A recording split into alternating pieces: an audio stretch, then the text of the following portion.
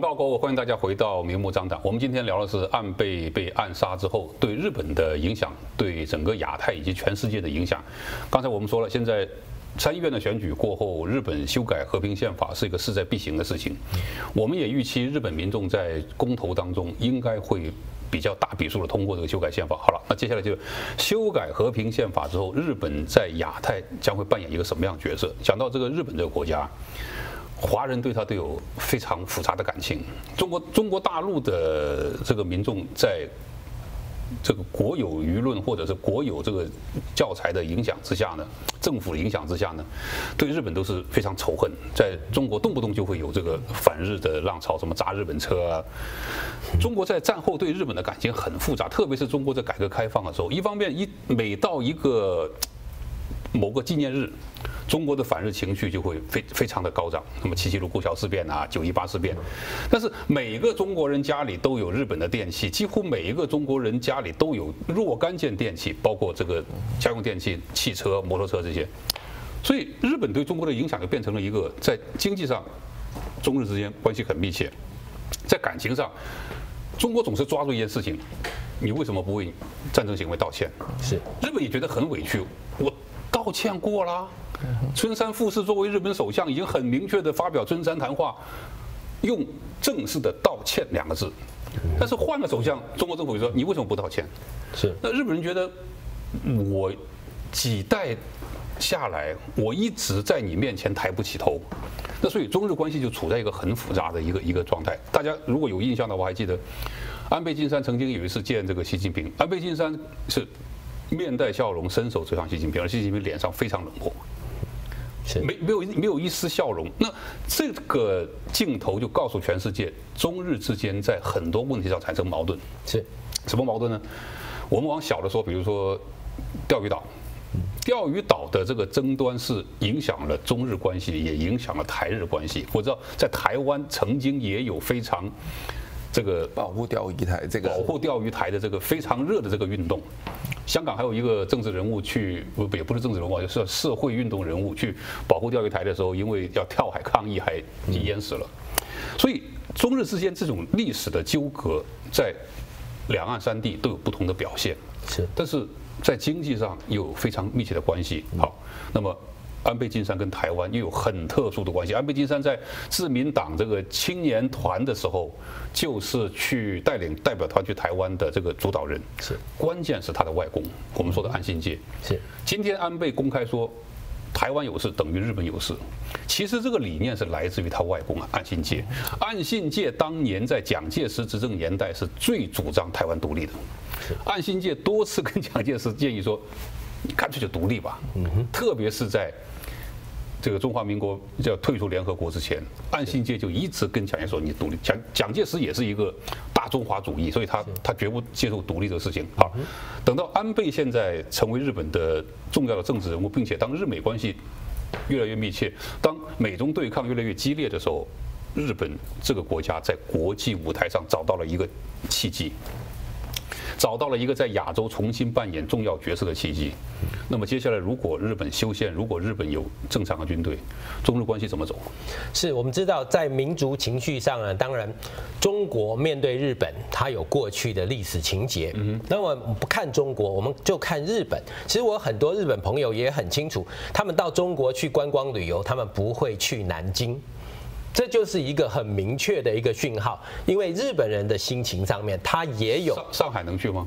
上海、北京他们都可以。其实很多人都忘记了，在中国发生过这样一件事情，就是在上海的火车站发生了火车对撞的事件。是，而当时正好有一个日本的学生代表团在这个车上，然后呢就死了好像好多人，我记得是超过两位数的人。是。当时中国的民间的舆论说，这是日本在上海当年军队作孽太深，所以一个报应。那么这种说法就等同于现在安倍晋三被刺杀，中国很多这个民众什么买一送一啊，什么开开席啊等等，严重刺刺激到日本这个国家的民族情绪。是的。那所以现在日本人在。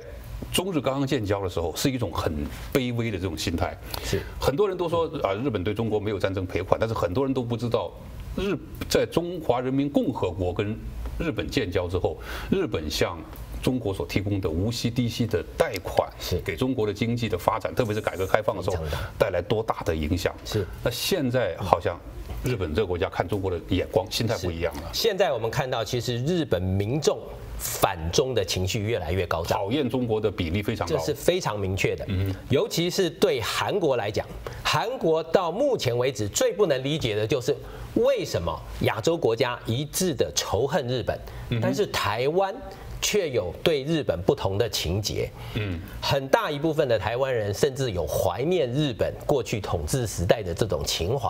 哎这个我我我我想插一句啊，是，其实我所了解，东南亚国家对日本的这个仇恨情绪全部都没有了，已经，是的，他们完全放下了，放不下只有两个人，一个叫中国，一个叫韩国。是。那么我们也看到了很多民族情节的这个部分呢，尤其是台湾年轻人甚至向往日本的这种文化，还有它的这种西化的方式，这种文化的改变很吸引。台湾还有东南亚的年轻人，这是日本在整个经济向外扩张的过程中间的副产品。所以，我们说整个日本和台湾目前的状况来讲呢，事实上它的情节是非常错综复杂。但是，台湾和日本一起站在对抗中国的这个角色上呢，是非常的吻合。那么也就造成了现在为什么民进党的执政跟日本的政府关系好像是非常的紧密，但是呢，又好像有一点为了中国的顾忌而保持距离。嗯，那么如果未来日本和平宪法真的成功的改变了日本这个军事建设的这个方向的话，我们就说台湾关系法约束的军售对台湾只有防卫性的武器，但是台湾关系法并不约束日本。也就是说，未来日本对台湾的军售不受限制的时候，它甚至可以提供攻击性的武器，嗯，给台湾对抗中国的一个基础。那么未来在整个第一岛链，甚至在日本的整个印太战略上面，台湾就在日本的这个资助下，变成一个非常重要的关键角色。那么，日本对中国，尤其是在海面上的围堵，事实上，台湾和日本中间就是在整个中国东海出海口的最大的管制。日本的造舰能力是非常强，它的海军造舰能力非常强。那以后会不会美国的兵工厂、美国的军事工业到日本就开分厂，开完之后就直接从日本卖到台湾去？是，当然我们知道美国和日本呢有非常紧密的关系，但是呢，在日本军工业的发展上面来讲，它甚至不亚于美国。所以日本有可能发展出另外一套系统，甚至跟美国是完全不同的。那也就是说，在美中对抗的这个军军事对抗上面呢，又增加了一个新的角色，甚至是新的武器形态。那么这个部分可能是目前中国在武器对抗上面的一个缺口。那么将来在整个东亚甚至印太的对峙上面，如果日本的军队广泛的布置在第一岛链对中国的包围的话，在军事上，事实上对中国是另一个新的威胁。我们说日本这个国家，大家一定要对这个民族有所了解。首先，日本人这种民族的自豪感其实是非常强烈。为什么呢？并不是因为，呃，他的科技啊，他的这个实力啊。日本人有一个在过去明治维新的时候有一个口号，叫脱亚入欧，就是我们跟亚洲国家根本就不在一个档次，是我们应该去跟欧洲国家。平起平坐，脱亚入欧，很多人的理解说，我们不做亚洲人了，我们现在把自己变成高贵的欧洲人。脱亚入欧完全不是这个意思，脱亚入欧的意思就是我们要脱离亚洲原来的经济模式、政治模式，我们要变成一个欧洲型的国家。但是你要问的是，脱亚入欧，当日本变成一个欧洲型的国家的时候，他想干什么？他要把欧洲人的势力从亚洲赶出去，要把白人从欧洲赶出去，让亚洲人的事情亚洲自己管。这就是我们在二战时候听的最多的大东亚共荣圈，他讲的是这个理念。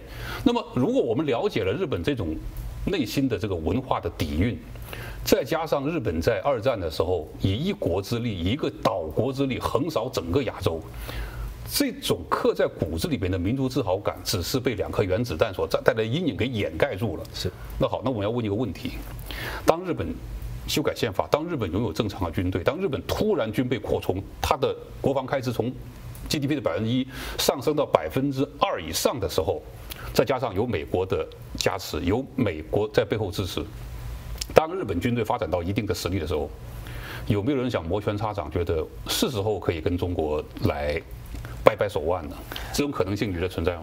所以我们在看哦，其实哦，日本在过去，包含这个安倍自己在当首相的时候，你不觉得他其实对中国也是在经济上有很多的需求，所以很多的事情他们也都是非常低调而行。但是呢，其实在中国的政府再加上他文化宣传部分，还是有一些抗日仇日的一个情绪在民间里面。那其实政府有没有要负一个责任？因为你让民间有这个情绪的时候，在重要的一些的节日，包含什么七七事变啊、九一八事变这种。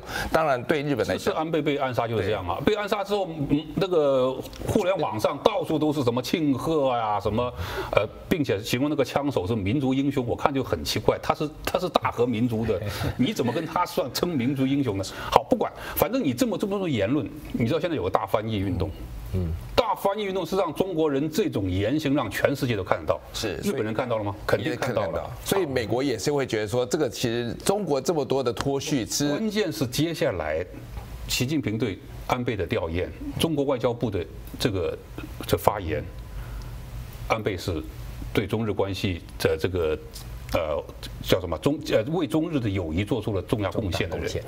然后你必须要让你的网管部门回头去把那些小粉红的言论全部给封杀掉。嗯哼，那你这样做的话，小粉红觉得很冤枉啊，也很委屈啊。哎，我们你这你不是鼓励我们这样做吗？好，会不会又被封杀了？但是。因为你的封杀会让日本人，会让全世界的其他国家的民众改变了对中国人这种文化做派的看法嘛？所以其实没有，但是你看日本国民对这个中国的这个所谓的呃。不满的情绪也是一直在攀升，现在好像已经已经到了所有国家民调的第一位了嘛，就对中国人反感最比例最高嘛。所以这其实中国其实要去思考这个这个他们对这个所谓的文化或者是对这个宣传这些的他们的怎么样去再去了解世界的一些的价值普世的价值，你不能说很多事情呢，其实还是要用一个高度来看这些事情。其实我们在讲安倍这次跟以前这个两颗子弹，安倍的两颗子弹也造成所有的局势马上改观，让这个所谓的修宪的门槛一下子好像这个前途是指日可期啊！安倍如果不是被暗杀的话，他就是一个过气政治人物，他以后能不能东山再起取决他的身体。但是安倍被暗杀之后，盖棺定论，安倍是一个对日本经济、对日本的国际形象有重大贡献的一个政治人物。然后日本民众认为安倍的遗愿是什么？是修宪。我们要不要对这个受大家爱戴的政治人物有所表示？怎么办？修宪就变成一个安倍遗产。所以，所以我也很热切在观察岸田文雄。其实岸田文雄是相对比较对中国是比较友友好的，但是在很多的作为，突然发现安倍所给他的遗产，第一，这个所谓的执政党他的所有的支持的程度越来越高，但是以他本来对这个修宪好像没有那么积极的状况下，他突然这个角色突然改变了，他变成是一个以后修宪一个重要的一个执行者。民主国家的政治人物，你没有办法脱离民意。日本的民意是支持修宪还是反对修宪？我们刚刚讲了嘛，以前一讲修宪，一定会有日本的左翼政党，包括日本共产党，然后到街上抗议，到街上示威。那有那个示威的人群不是三两个，啊，几百甚至几千都有。那一讲就是，我们难道还要再面临一次原子武器的攻击吗？就拿这个来恐怖的记忆来让日本修宪被这个多数民众反对。但是现在你看这次，第一。参议院选举，第二岸田文雄选举一结束，马上就说我们要抓紧要提出修宪，没有任何反对声音。对，所以看岸田文雄，马上很多人说他这是一个明智的抉择，很明确的抉择。其实他必须要顺应民心嘛。他马上看到民意。就很多人觉得拜登上台之后，中日呃中美关系一定会改善。拜登想不想想啊？他儿子跟中国的这个经济利益明摆着的事情啊。但是为什么在上台之后没有什么不敢做呢？到现在要不要降中国的关税？比方说上个礼拜要要宣布，现在拜现在拜登说哦，我们我们还考虑，即使要减的话，你只有三 percent 了，一百亿，一百亿跟三千七百亿比起来，完全微不足道。是，那拜登不想嘛？关键是一个两个国家的外交决定了两个国家的这个国国国民之间的情绪是否对立。是，好了，那我们再讲一个大家都很关心的话题，谁暗杀了安倍？是，怎么看？我们看到这一次安倍暗杀的事件，当然是一个不幸的事件，但是对安倍个人来讲呢，他毕生的心愿，可能就在这次事件中，慢慢的达到了完成的阶段。但是你这个暗杀的过程看起来很诡异啊。是，那么为什么会造成今天的暗杀呢？当然，我们看到报纸上面或者新闻上面有很多，包括宗教的因素，或者是个人情绪，还有精神的反应，各种报道来看呢，都是属于一种意外事件。其实韩国的统一教现在不叫统一教，现在叫什么世界和平什么什么什么什么联合会。是他在日本有没有分支机构？有，据说他在台湾有分支机构。是他在中国被宣布为邪教。是像在韩国，我们看到过很多，就是以基督教的名义、天主教的名义这种这种教会，但是你明显看到它跟基督教的原意是完全不相符的。但这些宗教在日本有分支机构，不代表它有很大影响力。这些教派的活动或许跟自民党、跟安倍有联系，不代表安倍跟他是有必然的联系。安倍为了争取选民的支持，到教会里边去，比如说搞个什么活动，这代表安倍跟他有密切的关系吗？而最诡异的是，山上彻也，如果你是觉得这个教会骗了你的妈妈，不论是骗财还是骗色，你是不是应该找这个教会去？是，我我我在我在节目里的对象我在节目里边就一直问嘛，你去暗杀安倍的难度大，还是暗杀他那个那个教派的高层的呃难度大？应该更更没有什么呃似乎。似乎这个日本警方听到了我的提问，所以日本警方现在回应说是啊，因为疫情的关系，他没有办法去韩国。是不是韩国教会骗了你啊，是日本的那个分支机构骗了你啊！是你应该是去去杀那个日本分支教会的负责人啊！所以这个动机，我觉得我不相信。我们看到这个事件，事实上以犯罪心理学来讲，今天行凶的杀人犯呢，他在现场开枪之后，我们看他的反应，他立即放弃抵抗。嗯哼。那么在这样子的一个过程中间呢，很明确的就是说，这是一个预谋犯案。嗯，那么他在心理上已经达到目的之后后呢，我对一切后果已经有预期了。是的，所以他呢接受一切的后果，嗯他放弃任何抵抗而不逃离现场。那么这对一个行凶的这个现行犯来讲呢，在心理上来讲，就是他已经有所安排。是不是他应该开枪之后，如果是喊喊几句什么安倍正常的复仇行为，安倍跟教会如何如何，然后安倍如何骗了我妈妈，他应该有这种行为吗？他却是很冷静的停留在现场，接受警方的逮捕，各方面没有任何的反抗。并且这里边还有一个细节，就是那那把枪，是我们都是用过枪的人，我们都知道，枪要打得准，最重要是里面有膛线。是做一把枪最难的是你把这个膛线做得好，然后子弹出去才会直达你要达到的目标。是这把枪看起来非常的粗糙，但是很有效。是表面上看起来是一个自制，但是其实它有非常高的技术难度在里面。对，那我们就看到了整个谋杀的事件，包括事后到这个现行犯的家里去搜索的时候，发现了很多爆裂物，甚至还有他制造枪械的工具各方面，证明了这样的人，事实上在日本的社会要拥有枪支是一件非常困难的事情。日本每年的枪支暴力造成的死亡也是个位数嘛。是，那么这样子的一个行凶犯，他事实上在日本社会上，他拥有枪支，可能在警方早就有掌控。那么也就是说，他要行凶的动机，还有他行凶的事实过程，很可能这是预谋犯案中间的一个部分。那么到底是谁制造了这一次的预谋呢？好，问得好。谁在这个事情上得到了最大的好处？谁就最大嫌疑人？谁得到最大好处？我觉得其实呢，以日本来讲哈，包含这个所谓的执政党，还有所谓的支持说，如果现在能够借此一次通过的话，其实都是最大的受益者。自民党是最大的得到的好处第一个，它其实大幅增加嘛；第二个，对它这个制宪的未来的这个阻阻碍已经完全排除，而且名气可用。我们纵观历史上日本首相被暗杀，都有个非常奇怪的现象，比如说这个安倍的外公岸信介被暗杀，当然他幸免于难，但是暗杀岸信介的是日本的右翼组织。岸信介在中国的教科书里面就是个日本极右翼的政治人物，是。他却被右翼所暗杀，为什么呢？因为岸信介推动的是日美安保安保条约，但是日本的右翼觉得我们大和民族怎么可能让这个美美国来保护米米米国鬼畜来来来来保护保护我们，所以在日本历次暗杀首相到目前为止，没有一个是被左派暗杀的，没有一个是因为私怨被暗杀的，都是极右翼组织在在在背后。嗯。那么这些极右翼组织，它的出发点是什么呢？就是觉得你还不够右。那是不是有极右翼组织说，你推动这个修宪还不够右？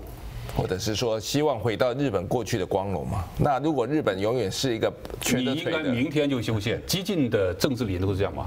你说我修宪五年规划不行。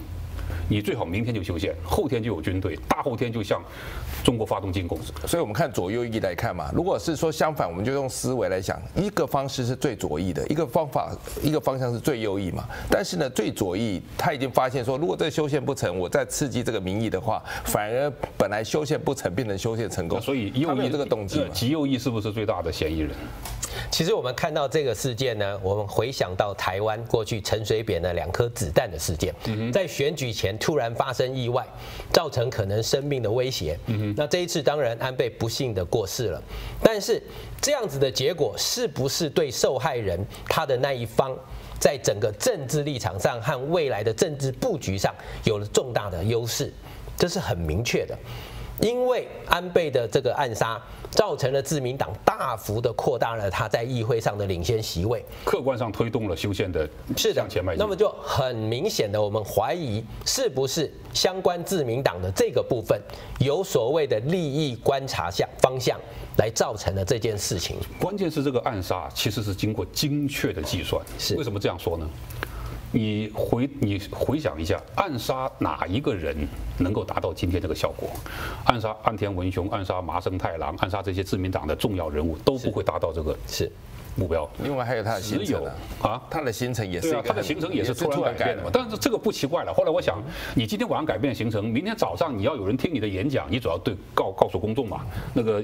安倍前首相准备来这里演讲，这个不奇怪，是就是这个暗杀的效果，我们看到是经过精确的计算，是就是只有暗杀安倍，才会有今天这个效果。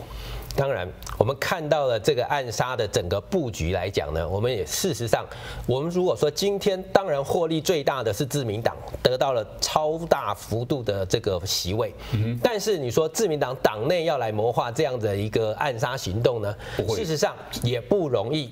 因为自民党冒天下之大不韪，是，而且一旦这个阴谋暴露的话，整个自民党就垮台。是的，因为自民党现在毕竟还是日本执政优势的政党，对，他没有必要去冒这么大的风险。安倍不被暗杀，他这次选举会不会三分之二呢？也未必，对啊，也未必不会。是的，对。但是这样子的一个促成呢，那就很明显的，后面在自民党还有一支这个推动暗杀的手。或者说，在日本社会有一个我们为我们所不知的右翼组织，是这个右翼组织背后有非常强大的这个政治势力。这个政治势力的为什么说强大呢？一般右翼组织都是一般热血青年、脑子发热的人，但是背后策划这个人，他精心计算，只有暗杀安倍。是好，还有个细节就是，这次安倍的这个维安人员是原有的最高水平的维安人员。因为我看到一个细节，安倍身边有个女保镖。这个女保镖据说是零点二八秒就能把枪拔出来。是，现场我没有看到这个女保镖的存在哦。以这个录影带的显示，当时枪响的时候，他的维安人员有一个很有趣的反应，是先自己蹲到地上躲避子弹，而并没有冲向他保护的对象。他的维安人员身手上有一个公文包，这个公文包不是装公文的，是里面是两片钢板。是的。正常的做法应该是，他有个按钮一按，这个公文包会从这样啪变成这样，然后挡着自己，是。自己在挡着安倍，是这是一个标准的动作。但是那位是那位就拿拿公文包这样挡自己，他躲在当地蹲在地上，并没有去保护他应该保护的对象。第一枪响完之后，安倍都回头看着那个凶手了。是这个过程。隔了大概有几秒钟，凶手才开了第二枪。那所以，安倍，我现在高度怀疑，安倍这支维安的团队不是他原来的团队。那么，如果我这个判断是准确的话，那后边这只手的力量就太大了。是我们看到了整个暗杀的过程呢，事实上呢，基本上并没有太多的意外。也就是说，这个暗杀呢，事实上就好像演戏一样的安排，照着这个。